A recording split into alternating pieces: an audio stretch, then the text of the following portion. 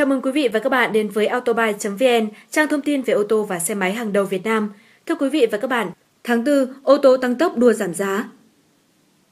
Toyota, Honda, Nissan, Mazda, Chevrolet trong tháng 4 vừa qua đua giảm giá cho khách hàng lên tới hơn 100 triệu đồng.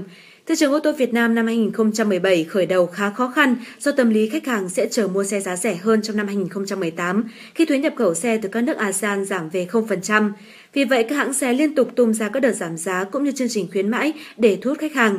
Tháng 4 vừa qua, thị trường ô tô diễn ra một cuộc đua giảm giá ô tô với sự tham gia của nhiều các ông lớn như Toyota, Ford, Nissan, Mazda, Honda, Kia, vân vân.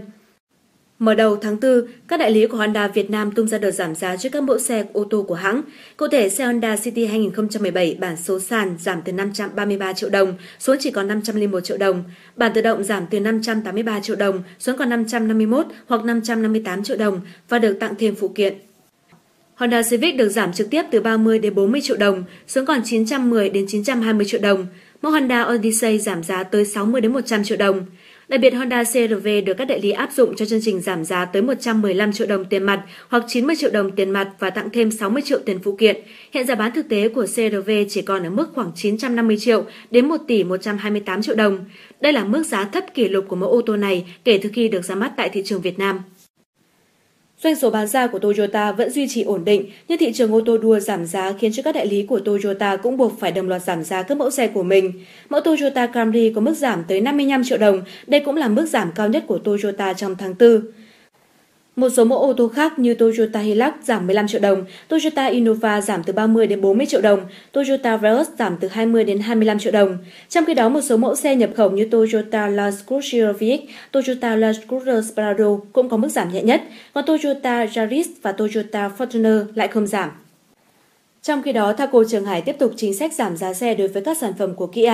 Toàn bộ các mẫu xe Kia đang phân phối tại Việt Nam đều giảm giá bán từ ít nhất 5 triệu đồng đến hết 30 tháng 4. Trong đó, mẫu xe Sorento 2WD GAT giảm nhiều nhất tới 15 triệu đồng. Thị trường ô tô tiếp tục ghi nhận mức giảm 60 triệu đồng từ Ford trong tháng 4 này. Một số mẫu xe như Ford Fiesta được các đại lý niêm yết giá giảm khoảng từ 37 đến 44 triệu đồng, Ford Focus giảm giá 50 triệu đồng. Vô bán tải Ford Ranger tuy có mức doanh số giảm nhưng vẫn đứng đầu phân khúc của mình, hiện cũng có đà giảm giá dao động từ 15 đến 40 triệu đồng tùy theo phiên bản.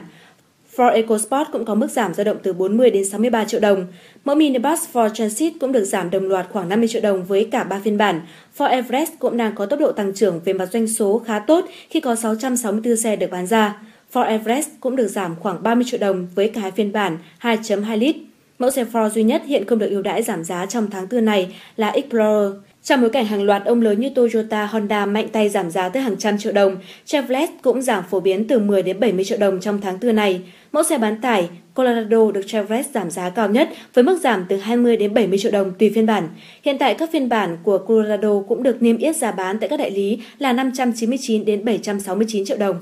Ở phân khúc xe hạng B Chevrolet Aveo, thế hệ mới của Gentra trước đây, đồng loạt giảm 30 triệu đồng. Chevrolet Cruze cũng có mức giảm khá lớn từ 50 đến 60 triệu đồng tùy phiên bản. Hai mẫu xe đa dụng là Orlando và Crossover Captiva được điều chỉnh giảm từ 15 đến 24 triệu đồng. Về phần mình, mẫu xe SUV đô thị cỡ nhỏ Trust cũng chỉ giảm được khoảng 10 triệu đồng trong tháng 4 này. Mức giảm này được coi là rất ít so với đối thủ Ford EcoSport. Trong bối cảnh thị trường ô tô bước vào giai đoạn thấp điểm, dự kiến các chương trình khuyến mãi lớn với mức giảm giá từ 100 đến 200 triệu đồng sẽ tiếp tục được hãng ô tô áp dụng trong tháng năm này. Autobuy.vn sẽ cập nhật chi tiết mức ưu đãi giảm giá của các thương hiệu ô tô lớn trong thời gian tới.